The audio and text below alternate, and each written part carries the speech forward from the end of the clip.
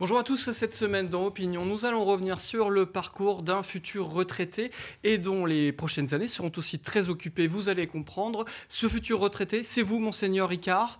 Bonjour. Bonjour. Et bienvenue sur notre plateau, avec nous également pour parler eh ben, de ce départ finalement de l'archevêché de Bordeaux, parce que dans quelques jours, vous ne serez plus l'archevêque de Bordeaux, mais vous allez redevenir simple prêtre dans la vallée de la Durance, dans le diocèse de Digne.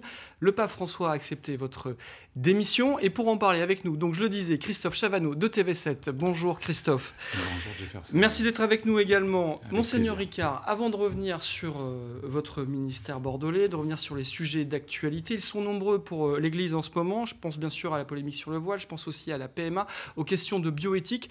Revenons un instant sur cette décision. Euh, vous allez donc quitter votre ministère bordelais après 18 ans d'exercice pour redevenir simple prêtre. Alors expliquez-nous la démarche parce que c'est assez singulier finalement. Pourquoi ce choix de revenir finalement à la base? Vous savez que donc à 75 ans, les évêques et les curés doivent présenter leur démission. Voilà. Donc c'est. Et vous venez de fêter vos 75 ans. Voilà, j'ai fêté mes 75 ans. Euh, on m'a dit, mais un cardinal peut être prolongé encore 2-3 ans. J'ai pensé que le temps était quand même venu pour moi, disons, d'un retrait de la responsabilité d'archevêque. Ça fait 18 ans que je suis à Bordeaux. Je pense que le diocèse a besoin sans doute d'un renouvellement avec une nouvelle personnalité, un nouvel archevêque. Euh, vous aviez fait le tour de la question ou c'est parce que vous, on estimez que vous avez fait On était arrivé aussi à, à, une étape, à la fin d'une étape, après le synode diocésain, on a fait des visites pastorales pour voir comment ce synode était mis en œuvre. Et donc, euh, je crois que le, le, moment était venu d'ouvrir euh, une autre page euh, d'histoire pour notre diocèse avec un nouvel archevêque. Voilà. Christophe Chavanot. Effectivement, euh, vous êtes arrivé il y a 18 ans, 2001, on se rappelle, vous avez presque une arrivée fracassante euh, en mettant la mairie au tribunal administratif. On se rappelle pour l'histoire de la confraternité Saint-Pie et cette église Saint-Éloi qui était un petit peu en marge de, de ce qui se faisait habituellement sur le diocèse. Oui, ce qui m'avait de fait créer une difficulté, c'était que on, parlait à ce moment-là, je pense à la préfecture ou à la mairie, de désaffectation de fêtes euh, pour cette église Saint-Éloi. Voilà. Et euh, il n'y a pas de désaffectation de fêtes. Et je ne voulais pas créer un, précédent qui fasse jurisprudence. Donc, euh, nous sommes allés au tribunal administratif. Bon, on a, on a gagné en première instance, Quel deuxième instance. vous, Monseigneur Ricard, quand vous arrivez sur cette polémique, sur cette affaire de l'église Saint-Éloi? Je suis ennuyé hein, de, commencer, évidemment, euh, par une relation un peu difficile avec la mairie. Bon, mais j'ai eu affaire donc là à la Juppé, qui m'a dit, écoutez, Monseigneur, on a ce problème, c'est vrai, euh, il faudra qu'on voit comment on le règle, mais ça ne doit pas en même temps occuper tout l'horizon. On a beaucoup de questions à voir ensemble sur une ville comme Bordeaux. Il y a les presbytères, il y a les églises, donc euh, prenons le temps du dialogue. Et les églises, voilà. Euh, plusieurs églises, puisqu'on on, prend, on prend aussi euh, en compte l'ensemble des communautés religieuses bordelaises. Ça a été Bordeaux Partage aussi avec la mairie. Et on, y viendra certainement, Jefferson, effectivement, sur la communication entre les communautés religieuses. Ça a été aussi un grand travail qui, a été, qui vous a occupé toutes ces 18 années. Oui. pour pour cela, je pense que Bordeaux est, un, beau lieu aussi, avec euh, une pratique de l'œcuménisme, c'est-à-dire de relations entre les églises, qui est ancienne, hein, euh, avec les églises protestantes, les églises orthodoxes, les églises anglicanes. On a fêté euh, plusieurs fois la fête de Pâques ensemble le matin. Je crois que ça a été de beaux moments. Mais il y a aussi une dimension interreligieuse dans la mesure où il y a une communauté ancienne juive sur Bordeaux, des communautés musulmanes, et j'ai découvert aussi euh, les communautés bouddhistes. Voilà. Et je trouve qu'il y a des relations de confiance euh, qui se sont établies entre les responsables religieux, de meilleures connaissances, et je trouve que c'est un, c'est un plus pour une ville comme Bordeaux. Monseigneur Ricard, c'est sans doute un plus, c'est certain, mais ce débat, et c'est un travail qui ne s'arrête jamais, ce dialogue interreligieux. J'en viens à, cette polémique sur le voile qui ressurgit. Ça fait 30 ans que ce débat est dans la société. Euh, vous le savez. Euh, ça vous, comment vous le regardez, ce débat? Vous dites c'est c'est un débat sans fin, on ne pourra pas en sortir. Vous travaillez sur cette question du dialogue interreligieux, de la compréhension finalement, à la fois des foi et des cultes les, questions se déplacent. Hein. par exemple, en 2005, nous avons donc vécu, vécu, le centenaire de la loi 1905 la problématique que je voyais, séparation de l'Église et de l'État, la problématique c'était euh, comment permettre à l'islam de bénéficier des conditions assez favorables qui ont été celles de l'Église catholique, et en particulier sur la question des lieux de culte. Voilà. Euh, dix ans après, euh, quinze ans après, la problématique n'est plus tellement celle-là c'est pas de faire bénéficier l'islam, c'est plutôt, je sens, un certain nombre de questions là-dessus, il y a eu le terrorisme islamiste qui, quand même, de fait, euh, a, changé un peu le, jeu de euh, les cartes. Et euh, il a fallu que nous nous resituions à la fois pour dénoncer ce qui peut être extrémisme ou danger dans nos différentes religions, y compris dans l'islam, et puis ce qui est véritablement le cœur, je crois, de nos familles religieuses, qui est habité, je crois, par un message de paix, de fraternité. Comment vous expliquez que l'intégrisme finalement traverse les religions? C'est aussi vrai pour euh, l'Église catholique, c'est également vrai pour euh, l'islam. Comment vous expliquez que ça, euh, ces religions, quelles qu'elles soient, puissent être dévoyées à la lueur du poids de l'histoire? On voit que ça a déjà été le cas. Je crois que ce qui est derrière, c'est la peur.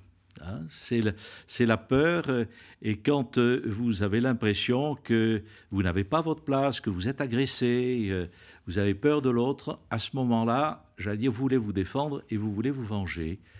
si vous regardez la scène internationale, on peut dire aujourd'hui qu'il y a quand même un certain nombre, je veux dire, de, de foyers d'inquiétude, de foyers de peur. Bon, tout ce phénomène d'émigration quand même, avec tous ceux qui quittent leur pays, euh, leur continent. Je veux dire, là aussi, c'est quel va être l'avenir. Donc, on sent qu'il y a cette espèce d'angoisse, euh, de peur, et donc ça peut être à ce moment-là la porte ouverte, je veux dire, pour la violence. Hein. du coup, pour moi, euh, il y a une responsabilité encore plus grande des religions d'être très vigilantes, justement, pour ne pas céder euh, à cette tentation. Christophe Alors justement, les peurs, vous parlez des peurs, mais quelles peuvent être les peurs sur euh, l'Église catholique, sur la religion catholique? Est-ce qu'on en connaît euh, certaines qui pourraient être sujettes à ce, à ce que vous évoquez? La peur que certains peuvent ressentir est devant ce qu'on appelle le phénomène de sécularisation, c'est-à-dire le, tous ces liens d'une religion, comme le catholicisme par exemple, avec une société qui se distende. Et donc certains catholiques peuvent avoir l'impression de devenir minoritaires. Voilà. Et certains, euh, ça leur fait peur. Certains se disent. Est-ce que c'est le cas ou est-ce que vous sentez qu'il y, a une concurrence aujourd'hui entre les religions, entre l'offre religieuse, si on veut le, être un peu plus provoquant? Moi, je, ne sens pas, euh, je ne sens pas le, danger tellement, je veux dire, de cette, euh, de cette euh, polémique ou de cette concurrence entre les religions. je crois que la véritable question est plutôt l'indifférence que la concurrence. Donc le détournement finalement que les, Donc, les gens alors, certains ont l'impression que du coup ils sont moins soutenus, plus agressés, et donc la tentation à ce moment-là, c'est la forteresse assiégée. Voilà. Moi, c'est pas du tout, j'allais dire, ma position. Euh, je suis pas tellement habité par la peur. Je trouve Vous que... plutôt optimiste, euh, oui, Ricard. Enfin, c'est, je suis habité par une espérance qui fait que, pour moi, euh, croyant, euh, Dieu est là, il est présent, il est avec nous, et donc le visage de l'Église peut changer et changera certainement dans les années qui viennent. Mais en même temps, ma, ma confiance, c'est que l'Évangile touchera les cœurs et qu'il ne faut pas avoir peur de ça. Christophe Chavano. Euh, on, revient sur les sujets d'actualité, bien évidemment. Vous parliez des peurs. Euh, certaines euh, au sein de l'Église peut-être font peur. C'est comme les sujets sur la, PMA Jefferson. On en, a, on en a beaucoup parlé ces derniers temps. PMA avec les dérives possibles que, que certains craignent sur la GPA. Quelle est la position de, de l'Église sur ce, sur ce sujet? Alors, je distinguerai peur et puis éventuellement inquiétude ou question concernant l'avenir. Hein. bon, je crois que la question que l'Église se pose, mais elle n'est pas la seule d'ailleurs à se poser, cette, euh, on l'a vu dans les débats, c'est euh, finalement on comprend que des femmes souhaitent euh, avoir un enfant, ce désir d'enfant, Et en même temps, est-ce qu'on peut créer comme ça, volontairement, des situations où des enfants n'aient pas de père? Voilà. Donc la question, la question de fond, c'est euh, qui reste quand même un inconnu. Hein, euh, c'est pas tellement une question, Monsieur Ricard. C'est une question de fond. C'est que, va que vont devenir finalement des enfants, j'allais dire, qui n'ont pas eu de père. Voilà. Est-ce que ben, ils se développeront sans problème comme les autres. Je veux dire, et donc, euh, il peut y avoir différents modèles de famille sans que ça touche à quoi que ce soit de euh, l'évolution personnellement d'un enfant ou d'un jeune. Ou bien est-ce qu'il y a quelque chose qui est structurant dans la présence d'un père et d'une mère, et donc toucher à ça est quelque chose d'ennuyeux. Alors, Monseigneur Ricard, vous nous le présentez sous la forme d'une question, enfin d'une réflexion, mais quand on écoute la conférence des évêques, c'est pas une question, c'est une opposition franche à la PAEMA parce que derrière, explique-t-il, il y a le risque de la GPA et même le lien est fait quand on écoute certaines autorités de l'Église. Là-dessus, on n'est plus dans la question, on est dans une position. Oui, mais je veux dire, ce qui motive la position, c'est quand même l'inquiétude sur l'avenir des enfants. C'est ça. Je veux dire, hein, euh, on n'a pas une espèce de dogme qui vous tombe dessus. C'est à partir d'une analyse de la situation que nous exprimons nos questions. Euh, moi, ce qui me, ce qui me frappe, c'est que, de fait, euh, nous voyons sur ces questions bouger le curseur au fur et à mesure des désirs des personnes. Donc, en l'occurrence les femmes seules et les couples de lesbiennes. Donc le prochain, la prochaine mouvement du curseur sera de dire mais vous faites une discrimination vis-à-vis des hommes mhm. qui, eux, souhaitent aussi avoir des enfants, et donc il faudra passer à la GPA. Est-ce que ça, d'un point pour l'homme d'église que vous êtes, ça c'est inacceptable? En tout cas, on marche sur, sur dans, une, dans une voie euh, qui euh, ne, vous, ne, vous, convient pas, tout simplement. Moi, je dois avouer que, de fait, euh, enfin, une femme qui porte un enfant, même pour le donner à d'autres, on peut mettre un peu toute la présentation euh, positive derrière, ça me paraît quand même une violence. Euh, ce qui me frappe, c'est que euh, on se dit, mais ce qui dépend finalement, ce qui est important pour l'enfant, c'est l'affection. L'affection, bon, il a deux mères, après tout, ben, c'est important, et ce sera bien pour lui. pour la filiation, on dit, ben, il suffit que ces deux mères puissent déclarer qu'elles veulent être mères et que donc cet enfant est le leur. Bon, donc c'est vraiment lié à une décision personnelle. Sauf le fait que, pour les enfants, je veux dire, on, va lever l'anonymat du donneur. Ça, c'est dans la loi, euh, ce, qui, se précise dans la loi. Ce qui montre, si vous voulez, très concrètement, que on ne peut pas faire fi, finalement, du donné naturel. Du donné naturel. Voilà.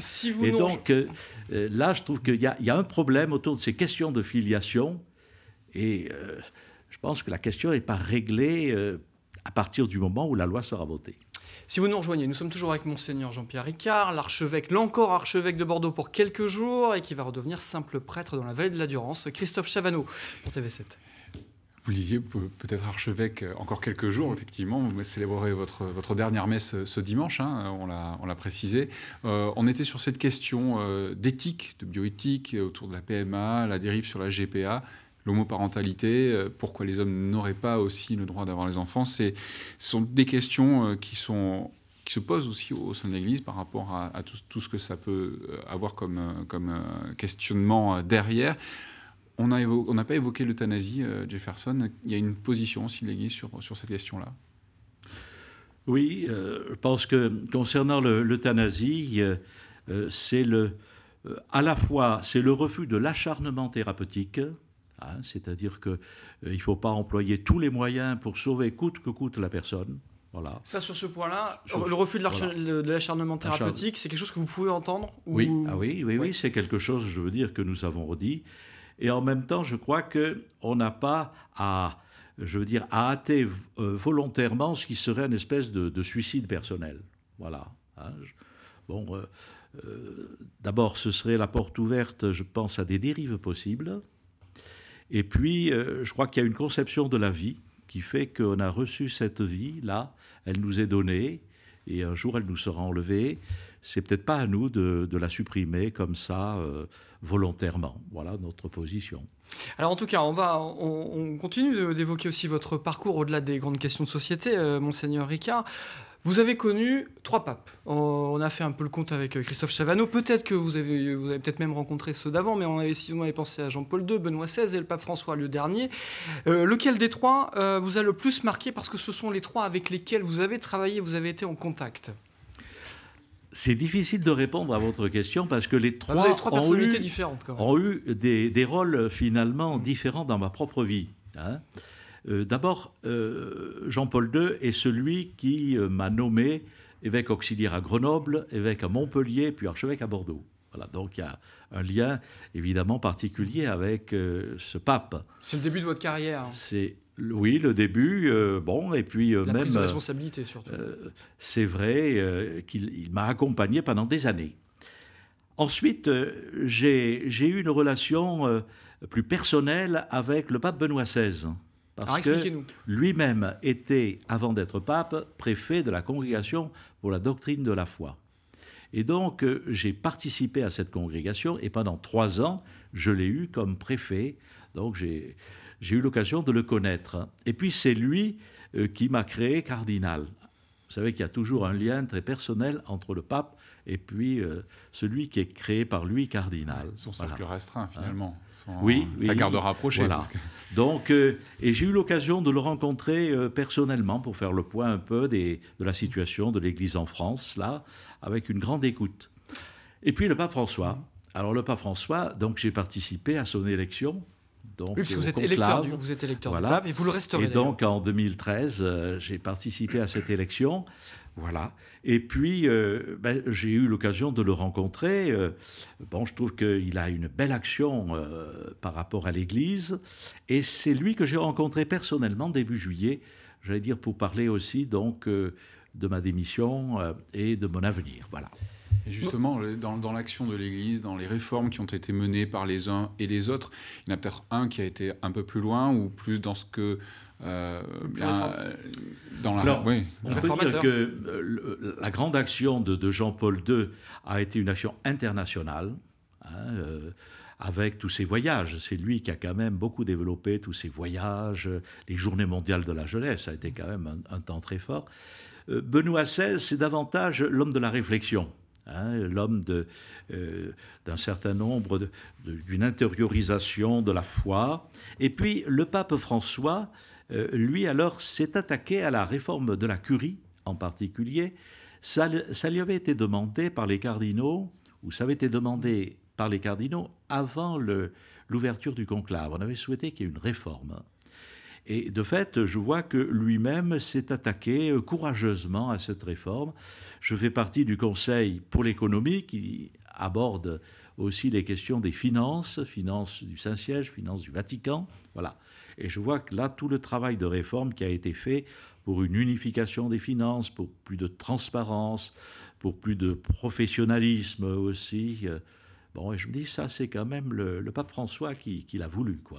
Monseigneur Ricard, racontez-nous quand même comment on se prépare pour rencontrer le pape pour un entretien, une audience est-ce qu'on est, est-ce que vous êtes en tête à tête Est-ce que ça c'est possible? Ou est-ce qu'il y a toujours autour des cardinaux, voilà, les ambassadeurs euh, du monde? Voilà, est-ce qu'on peut se retrouver? Est-ce que vous vous êtes retrouvé avec l'un de ces trois papes en tête à tête, seul? Oui, euh, avec les trois d'ailleurs. Hein. Alors, comment, on, comment, on se prépare? euh, Racontez-nous le cheminement. On va où? Parce que forcément, vu de l'extérieur, le Vatican fascine toujours. Donc je, je, je, demande une audience. Je passe donc par son secrétariat. Voilà, et je reçois une réponse. On me dit, bah, écoutez, d'accord, euh, tel jour, telle heure. Bien. Alors c'est vrai que c'est plus facile peut-être un cardinal de recevoir, d'être reçu par le pape que euh, simplement un évêque là. Donc euh, je vois au mois de juillet, et le pape me reçoit donc dans sa bibliothèque là. Vous attendez, puis il vous reçoit très simplement. Voilà. Alors, je lui dis, écoutez, très sympa, est-ce que je peux parler français? C'est plus facile pour moi. Ah, il m'a dit, ben oui, il n'y a pas de problème, j'ai appris un peu le français, euh, mais euh, euh, moi, je vous répondrai en italien. Je dis, ben, pas de problème, voilà. Et donc, il y a un échange. justement, parce que ça, ah. ça, vous avez traversé les, plusieurs papes, mais en quelle langue on, s'exprime? Combien de langues parlez-vous? Ah, moi, je, parle un peu l'italien, l'espagnol et puis l'allemand. Voilà, ce sont les langues que j'ai que j'ai appris. Euh, à Rome, malgré tout, je pense que le pape François est moins familier pour parler lui-même le français, mhm. mais il le comprend très bien. Euh, alors que Jean-Paul II et euh, Benoît XVI le parlaient parfaitement. parlaient parfaitement. Alors, quand on est face à face avec justement le Saint-Père, euh, il y a il y a de l'habitude peut-être chez vous, mais est-ce que c'est toujours un moment extrêmement particulier? C'est quand même un moment fort. Hein. C'est un moment fort où, vous partagez aussi des choses personnelles quand même au pape, là. Voilà. Il vous écoute, il vous parle et on décide. Et alors, euh, il m'a dit, bah, écoutez, d'accord, euh, cardinal Ricard, euh, très bien, pour votre démission fin septembre, c'est bien. Ah, il m'a dit, bon, je vais le marquer sur mon carnet parce qu'à mon âge, si je ne marque pas, je risque d'oublier. Et de fait, il l'a marqué, les choses, la, commission a été transmise. Et puis, en partant, il m'a dit, ah, bah, écoutez, je, vais vous donner quelques-uns de mes ouvrages. Donc, euh, il y avait quelques-uns de ces ouvrages, et en partie certains étaient traduits en français. Il dit voilà, vous emporterez ça avec vous. Voilà. Alors, c'est une, on en parlait au début de l'émission. Il faut qu'on termine là-dessus sur ce qui vous attend dans, cette, dans ce diocèse de Digne, parce que vous allez redevenir un simple prêtre, Christophe Chavanel. Oui, vous repartez un petit peu sur vos terres, euh, terres d'enfance, euh, pas très loin d'une certaine maison familiale que, que vos parents euh, ont, par là-bas, mais avec la cape de prêtre. Donc vous allez être cardinal, mais simple prêtre, avec au-dessus de vous un, un, évêque et un, un vicaire et un curé. Oui, écoutez, pour moi, j'ai toujours vécu ma vie euh, mon ministère comme un service euh, de l'Évangile, un service du Christ. Alors je l'ai vécu comme évêque, comme euh, cardinal. j'ai été curé autrefois. Voilà. Et là, je vais revivre ça sous la forme d'un ministère local pour aider dans une paroisse. Vous avez dit pastoral, c'est un ministère pastoral. Oui, au sens que eh ben, c'est rencontrer les, les personnes, euh, les écouter, les accueillir, euh, réfléchir, euh, et puis voir aussi comment le Christ est présent dans leur vie. Voilà, c'est cheminer ensemble avec ces personnes-là. Ce qui m'a frappé, c'est que dans tous les ministères que j'ai eus, le Seigneur a toujours mis sur ma, sur ma route des personnes hein, pour qui la, rencontre était décisive. Voilà, et je dis, ben là, je pars dans un nouveau pays. Je suis sûr que sur ma route, je rencontrerai aussi des personnes avec qui on pourra vivre des moments euh, forts aussi, humainement et spirituellement. Vous pensez qu'on peut passer euh, facilement de, des responsabilités d'archevêque de, Bordeaux à juste simple prêtre, à redevenir, retomber dans une forme d'anonymat aussi? Moi, oui. Euh, ceux qui m'entourent, peut-être un peu moins. Oui, parce, que, c'est vrai. À la fois l'archevêque, le cardinal, l'électeur Voilà, donc c'est vrai que je vais avoir un curé qui est camerounais, euh, je suis avec un vicaire qui est colombien. Bon, il m'accueille d'ailleurs très volontiers, mais je sens qu'il est un peu impressionné. Voilà. Mais je crois que ça, c'est au début. Et puis après, ben, euh, il y a une fraternité sacerdotale que l'on vit et qui fait qu'on devrait pouvoir se répartir le travail. Alors c'est vrai que je, reste quand même cardinal au sens que jusqu'à 80 ans, puisque 80 c'est la limite d'âge pour les cardinaux, je continue à avoir mes responsabilités à Rome Hein, et donc aller régulièrement à Rome. Mais là, euh, ben, je serai au service des gens avec les autres prêtres, là, sur le secteur pastoral de la vallée de la Durance. Alors finalement, il n'y a pas de retraite. Je vous ai présenté en début d'émission comme un futur retraité, mais finalement, est-ce que cette notion de retraite euh, chez les hommes d'église, ça, ça, se mesure, ça s'apprécie? Alors c'est pour ça que je parle, si vous voulez, de retrait de la responsabilité épiscopale, c'est vrai, mais pas de retraite du ministère, puisqu'il continue. En tout cas, c'est vrai que j'aspire à avoir un autre rythme de vie. Euh, plus de temps euh, pour la méditation, pour la prière, pour euh, la lecture, pour des rencontres gratuites. Voilà, y compris avec des amis aussi que j'ai pas vus depuis un certain temps. C'est-à-dire que le sacerdoce reste, mais le, finalement c'est la charge un petit peu pesante parfois qui, qui a besoin d'être mise en recul. Oui, on prend conscience finalement que ces responsabilités c'est un service. Et donc c'est bien qu'on les assure pour un certain temps, mais après, eh ben, il y a d'autres services qui vous attendent. Alors, Monseigneur Ricard, il nous reste une minute. On va quand même terminer avec euh, quelques souvenirs de ce ministère bordelais. Euh, quels souvenirs spontanément euh, reviennent à la surface? Il y a eu 18 ans, donc beaucoup de choses, beaucoup de crises aussi qui ont traversé l'Église. On n'a pas parlé, mais les, scandales de la pédophilie, bien entendu, qui, ont rythmé et qui continuent de rythmer l'actualité aussi quand on parle de l'Église. Donc, vous, plus personnellement, qu'est-ce qui vous a frappé ces 18, 18 dernières années en étant à Bordeaux? Alors, si vous voulez, euh, il y, a, y, a, à la fois le, grand angle et le zoom. Le grand angle, c'est toutes les belles célébrations, les temps forts qu'on a vécus, où le, diocèse est réuni, rassemblé. Je pense à, à Pentecôte 2018, euh, avec ce repas servi sur la place de la cathédrale, cette ordination de six prêtres. Voilà. Et puis après, il y a le, zoom, c'est-à-dire euh, la, la, présence sur le terrain. Et donc, le fait, les visites pastorales. Voilà, dans tout ah, ça fait le lien avec ce que disait euh, Christophe Chavanon tout à l'heure, ce ministère pastoral. Tout à fait. Et donc, c'est la rencontre avec les communautés, que ce soit à Bazas, que ce soit à Arcachon, euh, dans, le, euh, dans les, les Hautes-Girondes et tout ça. Et là, je garde beaucoup de souvenirs finalement de visages d'hommes, de femmes que j'ai rencontrés sur le terrain, qui m'ont partagé à la fois ce qui faisait leur vie et puis ce qui faisait aussi leur foi. Et donc là, je garde de beaux souvenirs. Monseigneur Ricard, merci d'être venu avec nous. On va rappeler quand même cette dernière messe euh, ce dimanche. Rappelez-nous l'heure. 16h à la cathédrale Saint-André. Bon voilà, si vous voulez euh, croiser euh, une dernière fois et dire au revoir à Monseigneur Ricard ce dimanche à 16h, cathédrale Saint-André. Merci d'avoir été avec nous. Christophe Chavano, merci. On vous retrouve sur TV7 toute la semaine, bien entendu. Et nous, on se retrouve dès la semaine prochaine pour un nouveau numéro. Merci.